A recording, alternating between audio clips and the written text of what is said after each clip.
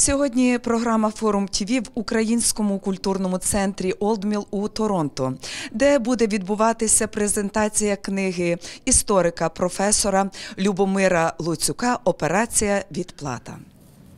There's a war on, and I know that many of us are more involved and interested in what's going on in Ukraine today than we are perhaps in some of the historical issues that I'll be detailing in the next half hour to 40 minutes.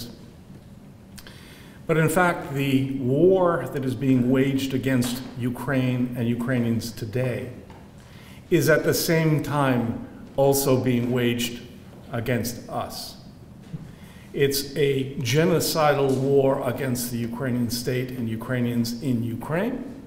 And at the same time, it is a war intended to disrupt and dismember the Ukrainian diaspora. And this is what I will be talking about tonight. Now, my involvement with this began in 1985. I was a much younger man then. I had come back to Toronto from the University of Alberta, where I finished my PhD. I had studied Ukrainian refugee immigration to Canada after the Second World War, the so called DPs. So I was someone who had spent a few years analyzing and thinking about who these Ukrainians were who came to Canada after the Second World War, what their wartime experiences had been, what they had suffered, what they had seen, and why they came to Canada, the United States, England, and so on. I had no idea that when I came back to Toronto in 1985, that I would very soon become embroiled in a very difficult period for the Ukrainian Canadian community, and indeed the Ukrainian diaspora as a whole, the debate over whether or not there were thousands of Nazi war criminals hiding in our community. Пане Луцюк, вітаємо вас сьогодні тут у Торонто. І сьогодні є презентація книги Операція Відплата. Звідки прийшла ідея і про що книга? Uh, well, the idea for Operation K- uh, Payback came from the KGB, not from me. Um, it's a document that was generated in 1985 by the Ukrainian KGB in consultation with the KGB of the Soviet Union. And the purpose of the document of the campaign was to orchestrate tension between the Jewish and Ukrainian diasporas to break them apart uh, around the issue of alleged war criminals in North America. So the whole idea was to stoke discord between the Jewish and Ukrainian diasporas so that they would never get together, and to do it by using this whole argument that there were thousands of Nazi war criminals hiding among the Ukrainian community of North America. Unfortunately, the government was not able to prove in a single case that there was a Nazi war criminal in Canada. And so, after several frustrating years from their point of view, and from the point of view of those in the Jewish community who advocated that there were thousands hiding here, the government began bending to pressure. And the government of Canada, unfortunately, from my point of view, took the line that they would follow the American pattern. And in the United States, the investigating agency, which was called the Office of Special Investigations, the OSI, didn't try to prove that someone was guilty of a war crime. They said, if you're in the United States and you now affirm that you were in Divizia or in OUN or UPA, then you must have lied to us when you came here and got your citizenship because we screened everyone perfectly. And if you're here, you shouldn't be here because we were screening people like you out back in 45, 46, 47, 48, 49. So if you're here, you must have lied.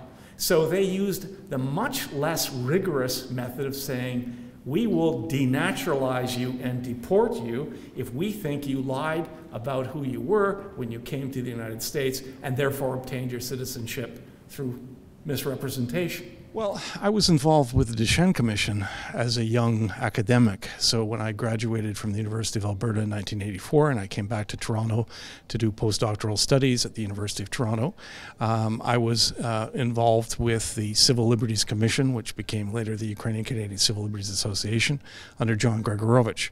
And that group was constituted to defend the community's good name against these allegations that we were hiding Nazis in our midst. So I began this work, if you like, in 1984 85, and it's been something that uh, I've never lost sight of. But what makes it fascinating is that we always thought, we suspected that the KGB were behind this, but we couldn't prove it. Now we have Chorna Nabila, black on white, evidence that the KGB orchestrated the whole thing, created these arguments and this tension that exists to this day. And you see it when people desecrate uh, Ukrainian monuments in Edmonton or in Oakville or in Toronto. They attack businesses or Putin himself. I mean, remember that on the 24th of February, when Putin announced his special military operation, what did he say he was going to do? He was coming to Ukraine to get rid of the Banderivci. That's what he actually said, Banderivci. Not Nazis, not extremists, not, you know, patriots. Banderivci. So this whole mentality, this Soviet mentality, you might think disappeared in you know 1991 with the collapse of the Soviet Union, but in fact, it still persists. It's still relevant. It's a way in which the Ukrainian diaspora is still being weakened uh, by these allegations. If you ask the average Canadian, were there Nazis in Canada after World War II? Did they hide here? The answer will almost always be yes. And that's because the KGB planted that story. And they brag about it, by the way. This isn't kind of a vague statement. They say, we planted stories in the Toronto Star. They say it right there. They say we planted uh, bulletins and, uh, uh, pamphlets and things around the United States. And we created the Office of Special Investigations in the U.S. to investigate Nazi war criminals. And we were so successful in the United States that we did it in Canada. And we got the Deschênes Commission.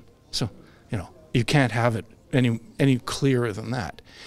So my my role as an academic was to um, take this document and incorporate it into a larger book, which includes many articles that I wrote about this issue over the years, put it together with the findings of the Deschênes Commission and other documents to put it all in one place.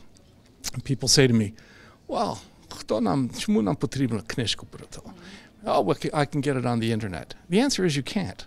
Even articles that I wrote in Canadian newspapers like the Globe and Mail, the Toronto Star, 20 years ago, 25 years ago, 30 years ago, are not easily found. So this gives someone who's interested in the subject all of the information in one book. As we in the West have dealt with um, the war, we've also had to deal with another thing. We started with there are Nazis in Canada and the United States, we should bring them to justice. Then we denaturalize and deport them. By the way, they never deported or denaturalized anybody because the evidence wasn't there. So now we've moved to another stage. The Nazis are the Nazis are all dead, pretty much. Um, we couldn't take them to criminal court, too expensive, too long. Couldn't take them to denaturalize and deportation because it didn't work. So now it's a memory war. Now the war is about not you or your generation or mine, it's about our children. It's about telling our children and our grandchildren that their grandparents or parents collaborated with the Nazis, were Nazis. That we have put up monuments honoring Bandera or Shukhevich or the Divizia. This is because we have a Nazi agenda. And thanks to the support of the Ukrainica Research Institute, the Temerty Foundation, UNO Foundation, many different Ukrainian Canadian groups, Canada Ukraine Foundation, we've been able to actually distribute this book around the world. So the record of what was true and what really happened will be there for a long time yet. And I think that's the greatest accomplishment of the book. Хто, на вашу думку, має читати цю книгу? she. Well, I think the thing is, th there's two there's two people uh, or two groups. One is our youth. It's in English, and many students will go to university or will associate with Canadians, like normal, perfectly normal, and will hear that you know your grandfather was in that Ukrainian Galician division. He was a Nazi, a sympathizer with the Nazis. Or your grandfather was in OUN or UPA. Your grandmother helped support OUN. They were all fascists. Well, that's not true. So I think for that next generation, which did not have to go through the Deschênes Commission, did not suffer, that was a very unpleasant time, I must tell you. Um, they didn't have to go through that, but they should learn about it. And of course, those of us who were there, it brings back memories of struggle against uh, of some very uh, competent people, uh, people who were committed to their cause. I mean, the Jewish community did the right thing. They said, "My God, there are Nazis in Canada. We should get rid of them." I completely agree. My mother was a slave laborer. I, I have no no no reason to support Nazis. Uh, she suffered because of them. So, from my point of view, um, hopefully, the Jewish community will read this and say, "We got conned." Now, this doesn't mean that there weren't some bad Ukrainians in World War II. Of course, there were. There were some bad Jews in World War II too. People did all sorts of things during the war to survive, or out of fear, or out of uh, greed, or out of prejudice. But in the main, what the KGB did was they took those few bad apples and they made it into a big uh, campaign to sort of split Jews and Ukrainians in the diaspora. And we all know the Jewish community is hardworking, very influential, earned its place in society by hard work. Ukrainians, perhaps a little less so, but there are more of us. And so they took these two constituencies and they put, put them into a fight. And everybody knows that those that, that fight continues right? And so the young generation of Jewish Canadians are raised to believe that, you know, those Ukrainians, they're not maybe not the boy and girl you're playing with at school, but their grandparents were bad people. The poison that the KGB inserted into the body politic of North America has had consequences now for half a century. Ask your neighbor tomorrow or next day do you think that there were Nazis in Canada after the Second World War that maybe hid in the Ukrainian community? I, I bet you every one of you will, will get a yes, right?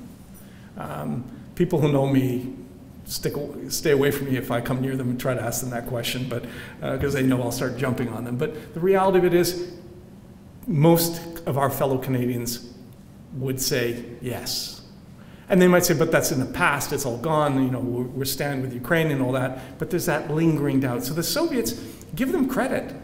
My, my afterword in the book is called Give the Devil His Due. They were brilliant. They were brilliant. They took these long standing prejudices and stereotypes, they stoked them, they disrupted the beginnings of what was going to be some collaboration between Jews and Ukrainians in the diaspora around human rights issues, the dissidents and so on, the refuseniks. People were starting to work together in Ukraine and here, and the Soviets were alarmed about that, and so they used the World War II war crimes thing to break us up. And you don't have to believe Lubomyr Luciuk because we got it in writing. Ви з Володимиром В'ятровичем також написали, і зараз вже видасться книжка. Про що вона? Ah, there's a new book coming out with Volodymyr Vyatrovich called Enemy Archives, and it is a collection of Soviet documents that they captured before, during, and after the Second World War, dealing with OUN and UPA. So we collected these inform- this um, documentary evidence in the Soviet archives about the nationalist movement. We've translated, with the help of Marta Olynyk from Montreal, uh, over 1,000 pages, and it's coming out as a major book through McGill-Queen's Press in February, March of the coming year. Um, it's a remarkable insight into who the people who joined OUN and UPA were, what was their ideology, what did they hope for, what did they achieve, and of course the very fact that the Soviets were still fighting them for almost 15 years tells you how strong they were. Um, more importantly, I think, is this presents an accurate and fair and complete uh, account of who OUN and UPA were as nationalists. And that's something I think we are sadly lacking because there's been all sorts of, you know, decades of Soviet propaganda, including this Operation Payback stuff, decades of propaganda trying to convince Ukrainians and the rest of the world that Ukrainian nationalism was evil. And it wasn't. It was the struggle of a nation to achieve statehood and they fought against anyone who came to Ukrainian land and said, We'll be here now, we'll take your land. They fought the Poles, they fought the Germans, they fought the Soviets, the Romanians, the Hungarians, and all sorts of others. Well, what's wrong with that? If someone breaks into my home, I'm going to fight or give up. There's, you have two choices, or you know, surrender or fight. So they fought, and it's perfectly normal. Nowhere do have I found evidence that Ukrainians attacked another country and said, "We'll take a little piece of your country." And of course, this is happening right now. Ukrainians are saying, just leave, go away. We're not, we're not interested in occupying part of Russia. Even Kuban, which you could argue was part of Ukraine at one time, Ukrainians aren't saying, we'll take Kuban back. They're saying, what we had in 1991 is what we should have in 2022. That's it. Everybody agreed the borders would stay. Okay, w- what are you doing here? And the same thing, Ukrainians in the 20s and 30s and 40s and 50s were fighting for what? For an independent, sovereign Ukrainian state. Period. What is wrong with that? How is that different from what the Italians wanted, or what the South Africans wanted, or the Japanese wanted, or the Israelis wanted? You know, we want a state of our own. We want a Jewish state. Why? Well, because we feel safe there. This is our home. Okay, I agree. Fine. Same thing happens for the Palestinians. Everyone wants that. So why should Ukrainians want anything less? So, what we suspected turned out to be true. And the only thing, although I don't think this will change in my lifetime for whatever time I still have left on earth, I'm not sure it'll change in the, in the time, you know, that God grants my daughter on earth. It, it, the poison was planted pretty deep. But the only thing we can try to do is what the good book tells us to do. And that is, when you think back to it to John, the truth will set us free. So I hope with this book I've given you the truth. Thank you very much.